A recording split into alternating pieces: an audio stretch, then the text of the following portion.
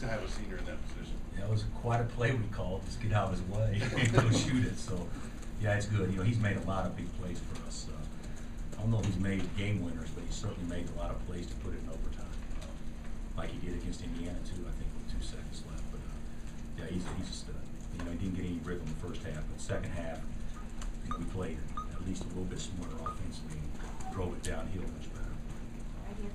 Coach. If you don't mind, talk about the play of obviously Frank Mason, but as Josh Jackson's well, we've talked prior to the season about what's expected of him. Do you think he pretty much had a coming out game tonight? Uh, I think he had, yeah, I thought, I thought Josh was great. You know, he's by far the best player in the game there, you know, start the second half. Uh, uh, But the, the thing about it is Josh is, I mean, without being negative at all, you know, you can't let his emotions get the best of him. And he's, he's a pretty emotional guy, and he's gotta be able to con- contain that a little bit better. Uh, If he hadn't got the technical, he wouldn't have been in foul trouble, you know, but for just some silly knocking the ball out of the guy's hand for no reason, so. Uh, but, but he's a, he's a heck of a talent, as you guys saw, and he, he got a little bit of rhythm and, and, uh, certainly, uh, he put us on his back there for a period of time. Right here, Coach. So considering how big Udoka's role is gonna be for this team, how encouraged were you by what he did tonight? Well, I was really encouraged, you know, he doesn't, you know, he's as raw as there is, and, and, uh, he's actually got good touch, shooting the ball, little jump hooks around the basket, really didn't get a chance to show that tonight, but, but, um, you know, we, we're, we're not a great rebounding team by any stretch, and, you know, he gets, he gets twelve and fifteen minutes, where, you know, our other bigs get seven and thirty, or whatever, so I, I, I certainly see his, as he gets more and more comfortable, uh, I certainly see his minutes going way up. He, he, he's gonna be as important as anybody on our team on how, how good we can. Bill, we all get like starry-eyed about freshmen, but Frank got fifty-one points in two games. Are we kind of missing the boat on the value of seniors in college basketball? Uh, I don't know. I, you know, you know, I, I, think NBA's missing the boat on him. I, I think that, uh, you know, he doesn't, he doesn't fit the eye test, you know, with, know, length, standing height, and that kind of stuff, but he's got some things you can't teach and intangibles that, that are, that are, as good as anybody in America probably possess, and, you know, Devonte's the same way too. I, I, I do think it's, you know, for two kids that committed to Appalachian State and Towson State, I do think they've got quite a bit of national attention uh, going into this year. But, but still, it's amazing how how, uh, how tough those two. are. You know, Devontae couldn't do much. Uh, and, you know, I asked to come out. I said, I can't take you out. I mean, because he's cramping.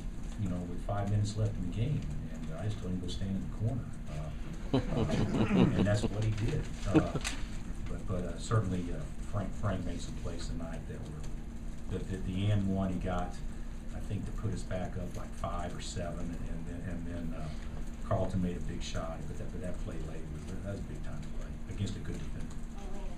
What, what does a win over a high-quality team like Duke this early in the season, particularly the way you want it, do for you going forward? Well, you know, this has been a, a pretty long trip.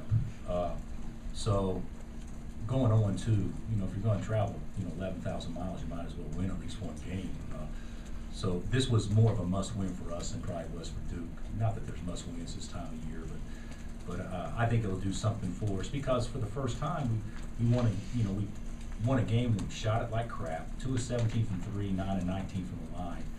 But, you know, they don't get transition points and, and we control the glass. It's not that complicated.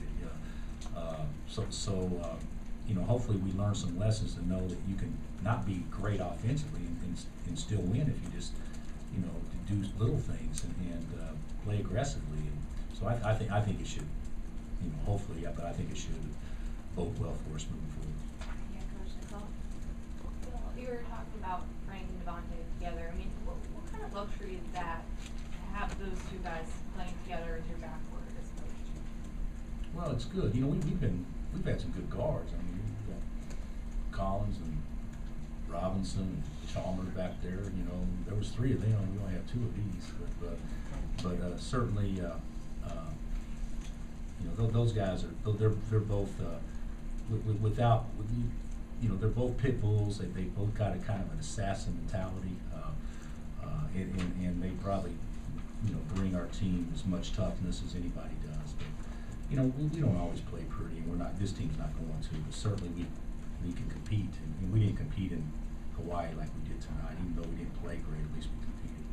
Eileen and Zach, Coach. with, with Josh, you see the passion that he plays with. How do you harness that so that it's not a detriment to the team? Well, we'll have to. You know, I, I also think this for for a, for a young kid uh, playing Indiana, you know, on that stage and playing Duke on this stage is probably not the two best teams to play for somebody with the expectations and the hype around Josh, because you want to go do it yourself as opposed to leaning on the others to do it. I, I wish we had a, a little game where you can get the rust off and, and go through this rather than high profile games, but. Uh, you know, we, he, he'll do that. He wants to win. Sometimes, uh, some guys, guys thinking that they really want to win and, and, and really competing hard are, are is counterproductive when, when, when they're when they kind of lose focus. You know, part, keeping focus and thinking next play is part of competing, and I think he's got to learn that. But certainly, I mean, he's got some God-given talent. Though. Right here, Coach. Bill, with the charge led by Josh in the second half, you guys got, you know, a decent lead and then Duke with the push, the building was so alive, like MSG can only be. What did you learn from your team as it really faced a, a strong push from Duke there and kind of a toss-up game in the final minute? Well, I, I think that I, you know, they played out of foul trouble. We played out just as much foul trouble. I mean, those were makeshift lineups that we hadn't had a chance to practice with a lot. Uh, uh, but but uh, I've always thought, you know, these guys were, were pretty tough, and I'm not going to say that we're not near as tough as we need to be because collectively everybody needs to do it, not just a couple of guys. But to, to, to see how they fought and, and played out a kind of an adverse situation, I, I think it, I, I think it, you know, it, although it, it probably doesn't mean much in the big picture, but I, I, I do think it kind of gives our guys some momentum or at least some confidence moving forward. Right here on the end, You- please. You mentioned the, the fouls. Uh, I think, I think you guys have played in two games that have had hundred and eleven total fouls called. Is that something you expect to, to kind of maybe go down a little bit as the season goes on, or is this kind of the new norm, I guess? Well, I, I, you know, hopefully we can get under hundred, uh, uh, you know, over the next two games, but, you know, it, I don't, I, I don't know how the first game was, if it was a, uh, there as tight. But I, but I, I looked at our fouls, I thought we fouled. I mean, I didn't think they were bad calls, I thought we fouled, uh, maybe a couple I didn't agree with, and, and, uh, I'm sure Coach Krzyzewski would say the same thing, they, they probably fouled too much as well, and, and, uh, and it hurt them fouling because they, they didn't have bench guys to go to. Uh, Not having their guys obviously hurt them tonight. You know, we don't have any more guys, so, uh, but, but, uh, yeah, we, we've got to learn to play with our head and our feet a lot, lot better than what we are right now. All the way in the back. We foul when it doesn't have anything to do with the action. I mean, how many times we foul away from the ball? I mean, I, you know, so, not very smart. Bill, you had three guys over thirty minutes tonight. How concerned were you about fatigue after, you know, such a long trip? Well, we didn't have an option, you know, uh, uh, yeah, I was concerned, uh, uh, but if Frank hadn't gotten foul trouble early, he would have played forty as well. So, um, you know, Svi and Lagerald aren't used to playing those number of minutes and, and, uh, but we, we can't have Landen Carlton fouling like that, and put us in, put us in that position to have to play small like that, but, uh, uh, it, it's a concern, and certainly we're gonna have to get much better playing without fouling, or, or it'll catch up to us. We got lucky tonight, it'll catch up to us. Okay, thanks. Coach, right, Coach thank. K's waiting, so we gotta